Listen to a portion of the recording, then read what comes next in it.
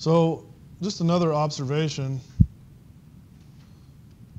Let's go back to the same toy problem.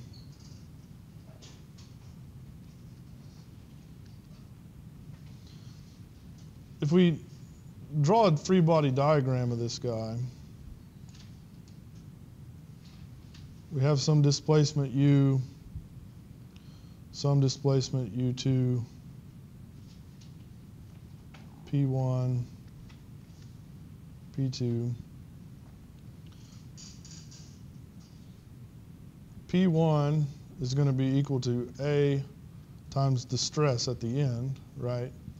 And according to Hooke's law, that's E E1, okay?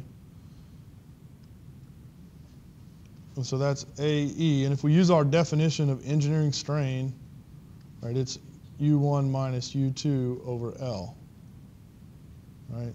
So that's equal to AE over L U1 AE over L U2. Right, so the same thing for P2 is A times stress 2, which is AE times strain 2, which is AE U2 minus U1 over L. And that's equal to AE over L U1 plus AE over L U2, right? And so we wrote this uh, and, and of course then this is equal to P. Right? So if we wrote this in, uh, well, let's just, as the free body diagram goes without applying any, it's just P1 and P2. So we write this in matrix equation, we have AE over L minus AE over L, AE over L minus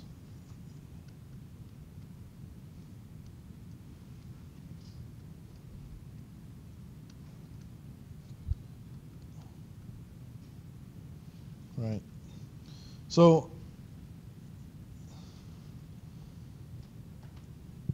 we get the same thing, right? Just from taking sort of a, me a, mechanistic view, right? We draw a free body diagram and write down the forces in, at the end in terms of stresses and strains using Hooke's law. But, and so you might ask, well, why didn't you just do that to begin with? Why take us through all these long equations and all this interpolating functions and all this stuff? Why do that? Well, the reason is, is the, the, the reason they're the same is because we assumed a constant strain across the element. Made it really easy. We use this definition of engineering strain, right? But there's really no straightforward way. Say we wanted to, so in other words, the strain in this element is just going to be a constant, right? It's always going to be a constant. But what if we wanted to actually see a distribution of strain, like a linear distribution of strain? Well, in that case, there's no straightforward way to do it mechanistically, right?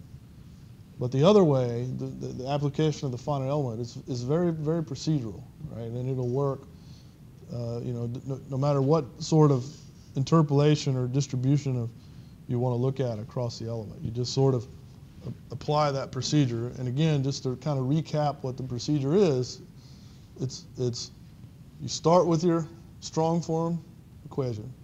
You multiply by a test function. You integrate over the body.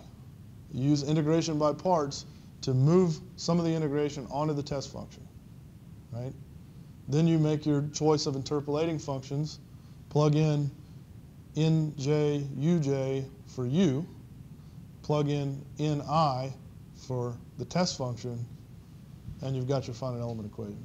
And it doesn't matter what the physics are. If you have your strong form equation, you apply this procedure to it, you can use the finite element method for it. It's a very, very step one, step two, step three. Right? And so, you know, finally, we've been playing with this uh, model equation so much that you might wonder why when up till now, the whole class we've been talking about solid mechanics and poromechanics, right? Well, at least in 1D, we had this model equation.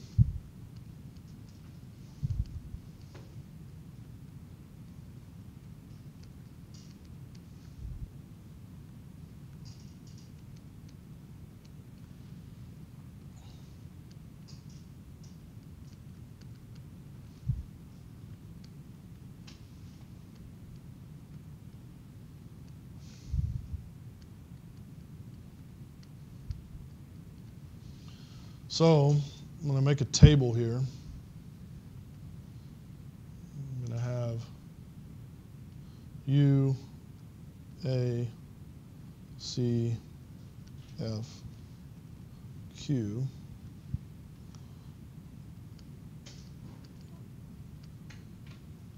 So if we're interested in doing heat transfer, U is the temperature. A is the thermal conductivity.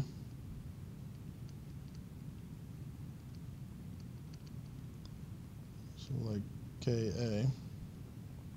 C is the convection. F is the heat generation. And Q is the heat. If we're interested in doing flow, then we have U is the pressure. This would be A is the resistance or permeability, uh, you know, depending on if you're talking about flow in a pipe or flow through a porous media.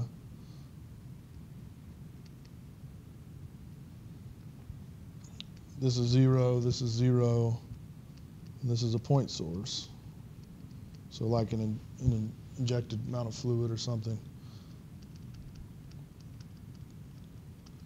So elasticity, U is the displacement.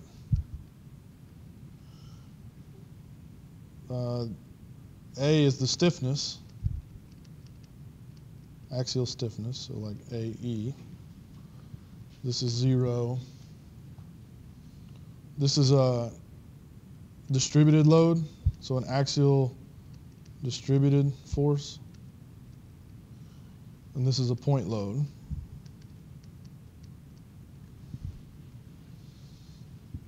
And there's also, we could do torsion, but, you know, it is what it is.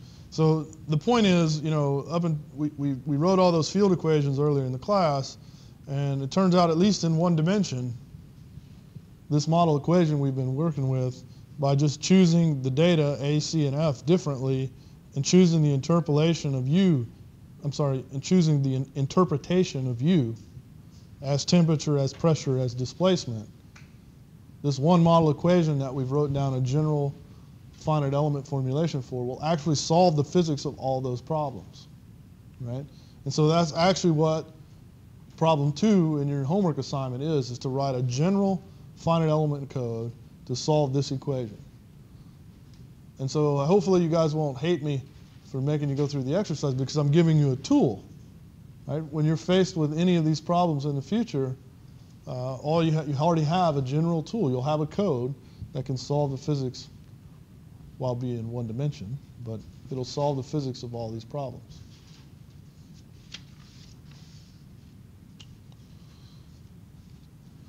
So that's where I'll stop here today.